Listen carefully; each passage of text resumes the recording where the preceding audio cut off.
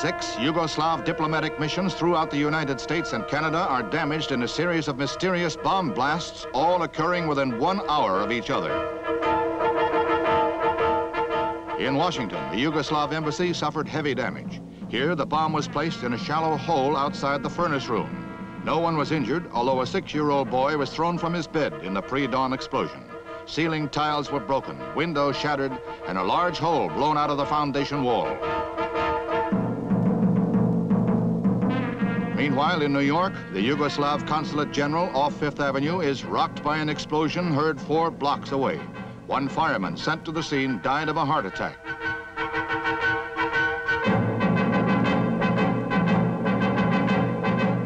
The State Department condemns the bombings as outrageous and senseless. Anti-Tito political terrorists are blamed for the attack.